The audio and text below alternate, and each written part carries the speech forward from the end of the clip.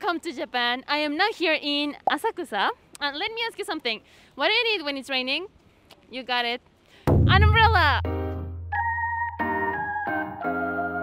And now Japan has the most consumption of umbrellas all over the world. Did you know that each year 130 million of umbrellas are consumed here in Japan? I mean, have you ever seen a rainy day in Tokyo? Like this? Where all the umbrellas are dancing under the rain.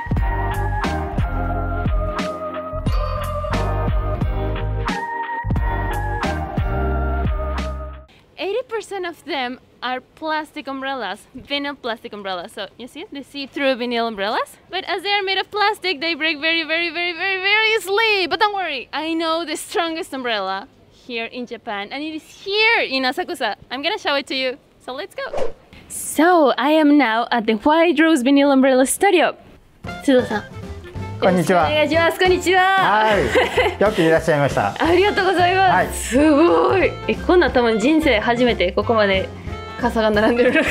実はうちね、傘屋なんですよ。ですね。ねえでもね、全部見ていただいて、透明の傘ばっかりです。ですね。はい、うちはあの透明の傘はうん前が見えるでしょ？あ、はいはいはい、はい。だから一番安全なので、ああの透明の傘しか作ってないんですよ。ーすごい。まあ、世界で初めてビニール傘作った会社なので、はい。あのビニール傘の専門店です。すごい。この中で世界一って一番強いビニール傘があるって聞いたんですけど。それはね、どれですか？えー、こどれれ？かな。えこれはー、強そう。選挙の時に。はい。あのー政治家の方がおつ、はいお使いになる傘です。えー、そんなんすごい。はい。So, this is the strongest umbrella in the world. Look at this. Look, I mean, it already looks super strong. So, let me explain you. Um, this umbrella is also super simple. I mean, if you see the colors, and here also down, it's like creamy, right? And why he decided to make it like this simple is you know here in japan there are a lot of politicians and they need to keep working even if it's raining or snowing. So he thought okay if i make an umbrella that stands out a lot they're gonna focus on the umbrella not in the politician. I never thought of that so Japan gets hit by a lot of typhoons during summertime, where the wind can blow up to 50 meters per second. But I have here two umbrellas. So this one is a normal umbrella that you can get at any convenience store, uh, 100 yen shop, supermarket, whatever. And I have the white rose umbrella over here. This is a wind blower that we're gonna use today, and it can reach up to 20 meters per second. So it's more than a typhoon because the typhoon here in Japan reaches up to 15 meters per second. And I want to use this one to try our umbrellas. So let's do it. I'm gonna try this one first, okay? okay. Onegaishimasu! I'm scared. Okay.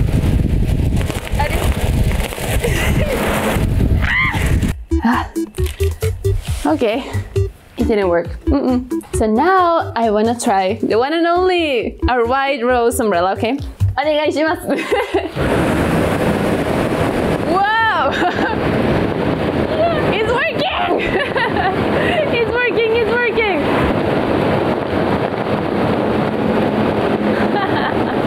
it worked! I'm in love with this umbrella. Which one do you prefer? I will definitely go by this one. And it's also super cool. Look at the design. I love it. Look at this. Nah, we don't need this one. Okay, I'm gonna keep this one. 須藤さん、はい。少しだけホワイトローズの歴史についてちょっとだけ教えていただけますかはい。うちの会社はもうあの去年で300年です。300年やばい全然生まれてもなかったえっと一番最初に開発したビニール傘はどんな感じでした？最初はですね、い、きなりビニール傘ができたんではなくてそう、ですね。お。傘の上にはい。ビニールのカバーをあかぶせたんです。あはい。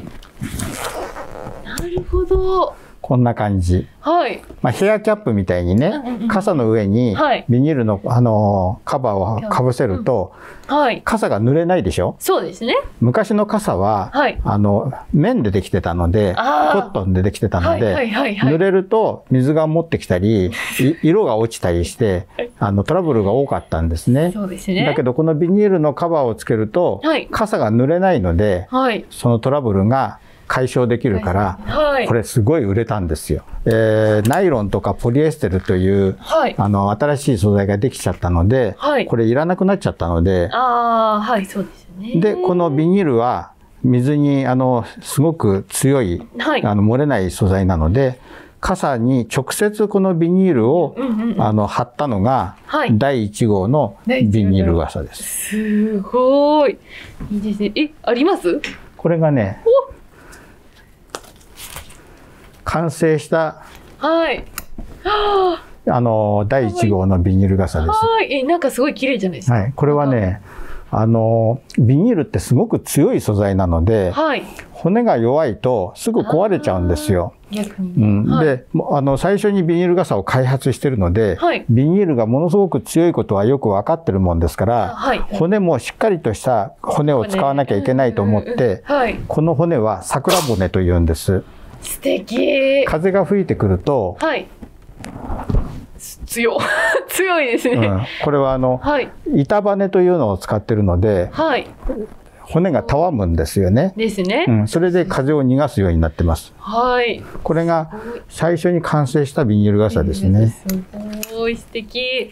ね、ビニール傘といえば結構その使い捨てっていうイメージが結構あると思うんですが、うんまあ、なぜこう世界一強いビニール傘作ろうと思ったんですかあの実はですね、えービニール傘を開発して、うんはいでビニール傘を売ろうとしたんだけど、はいはい最初はなかなか売れなかったんですよ。はい。やっぱり傘って布布布でできてるっていうのがまあみんな当たり前だと思ってたから、ねビニールなんてなんだって言ってですねあーあの、なかなか最初売れなかったんです、うんでも一生懸命頑張って売れるようになったらば今度お透明のビニール傘っていうのを作っちゃったんですよ。はい。で透明のビニール傘はあの誰にでも、たどんな服着てても、はいあのえあのトラブルにならないので、はい。すごく売れたんです。はい。そしたらば安い方がいいということではい。外国で作るようになってしまってあーはい。はい。でどんどんどんどん競争して安いビニール傘ができてしまったんでですよね。あの実はビニールはすごく強い素材なのにうん。あの弱い安い骨を使って壊れやすい傘作ってもはい。500円で買えるからあのはい誰もクレーム言わないのでどんどんどんどん安い傘がうんできるようになってしまってはい。で今みたいなはい使い捨てっていうイメージになっちゃったんですね。うん、確かに。でもそもそもビニール傘っていうのは水にがあの漏れないということが、はいえー一つとそれから透明みたいにはい前が見えるとはいい。うのが一番の特徴なのでうちの場合はその最初の原点に戻ってうん。強くて透明で前が見える傘はい。これを突き詰めてはい。完璧な傘を作ろうと思って努力してるんですね。素晴らしいですね。はい。まあ雨のために作ってる傘じゃなくて 人間を守るために作ってる傘だからそうですね。あの傘は本来は壊れたら困るんですよ。そうです。本当に、すごい素敵な思いだと思います。本当に。Umbrellas were brought from China for more than about 1,400 years ago. And in the 18th century, they invented a foldable umbrella in the UK. But at that time, they used fabric, not plastic. However, after World War II, a Japanese company invented those plastic umbrellas. I think you might have used one before, right? Let me tell you something. Amazingly, that company that invented the plastic umbrellas is a White Rose company. And still now they are making them here in Japan. Let me show you how the factory works. Let's go! This is the White Rose factory in Chiba Prefecture. You might think that plastic umbrellas are made by machines, but here, umbrellas are made by hand. In the factory, all workers are professional umbrella builders. They stitch parts one by one. It looks like a very sophisticated skill for sure. Since 1953, they have been making plastic umbrellas for the same method. Now, This umbrella factory is the only one which make plastic umbrellas by hand in Japan. But why do they make them by hand? Mr. Sudo said his motto is Our goal is not selling umbrellas. We are making products which people can use. I realized that his words are really professional. As I see White Rose's plastic umbrellas, not only the quality, but also the designs are sophisticated. Recently, Japan's imperial families are officially using their plastic umbrellas. Yes, it looks very graceful compared with a normal plastic umbrella, right? これはあの透明の折りたたみの傘です、はい。透明の折りたたみの傘あんまり見ることがないと思うんですが、ないですね。えー、 えー、えー、すごい。お びっくりした。これもあの傘に穴が開いてるんですがはい。はい。この真ん中に線が入ってるでしょあ入ってますでこの線が畳む時のガイドラインになりますからこの線に沿って畳んでいただくとどなたでもきれいに畳めるようになっていますこの傘は長い状態と短い状態があるんですねあ、そうなんです。はい。これがねあの実際に使ってあの濡れてる時の長い状態、あはい。であと畳んだ状態ね、はい。なので傘袋も長い状態と短い状態両方えにあー、それはるんですね、すごいです。はい。濡れてる時はこの中に入れて入れてはい。でお家に帰られたらあの乾かして、はい。あのまた畳んでもまらう、たたでも、えーはい。すごいです。はい。そしたら元気よく元気よく元気よく、うん。OK。OK、いきます。OK、ボンでせーので。そうです Okay, and that's how you open this umbrella. Okay? ではではでは最後の質問なんですけど、これから挑戦していきたいこととかあるんですか？えー今ねあの、取り組もうとしてるのが、はいえービニールの日傘を作りたいなと思ってるんですよ前が見えるはい。あの日傘えっていうのができないかなと思って、はい今研究してんですよー、すごい。それ欲しいですね。まだね完成ではないんですが、はい。こんな感じのものです これははい。外からの光ははい反射したり、ねはい熱も反射するんですが、内側からのあは見えるんですよあ、見えねる。見えます。え、すごい。やっぱり前が見えるっていうのは安全ですから安全です本当に。はいあのできるだけあの前が見えてあの、怪我しないようにですね歩いていただきたいんですけれど、うん。あのやっぱり暑い時は日傘がね、うんうんえー特に日本はねすごく人気なんですよね。そうですね。うんうん自分も気に入ってます。だから夏は結構暑いじゃないですか日本でまあ女。性のお肌をね守る傘を作りたいんですよ。そうですね、うんちょっとねシワが欲しくないんですよ。あ、そうなんですか？シワがいらない。また若いから大丈夫ですよ。やいやいやいやいやいや。応援してます本当に。頑張るぞ。はい頑張ってください。ではではではではではこれがねすごく気に入ったんです。こあ、ありがとうございます。ちらに一本いただいてもいいですか？はい、どうぞ。これはあのさしあの、はい持ってってくださいね。あありがとうございます。えこの商品の名前はね、カテール70プロっていうんです。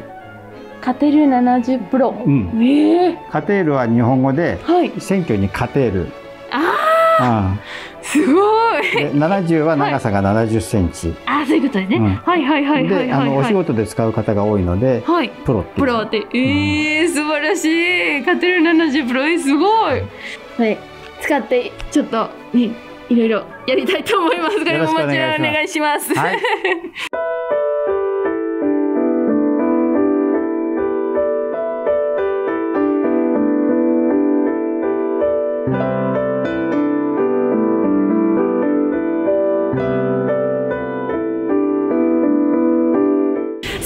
about Sudo-san's story, I think he's a really, really nice and kind person. He taught me the value of things. Um, because you know nowadays we used to dump things really easily, but he taught us that we can fix them. And I really, really love his umbrella. As you can see today, it's raining a lot, the wind is really strong, but my umbrella is here intact and I walk with a lot of confidence. So when you come to Japan, you really need to come here to Asakusa, get your own white rose umbrella, and then you need to tell us in the comments if it was strong enough, okay? So thank you guys for being with me today. Be sure to subscribe to our channel and also to check all the other videos. They are really fun. You're gonna love them, okay? We hope to see you soon. Bye!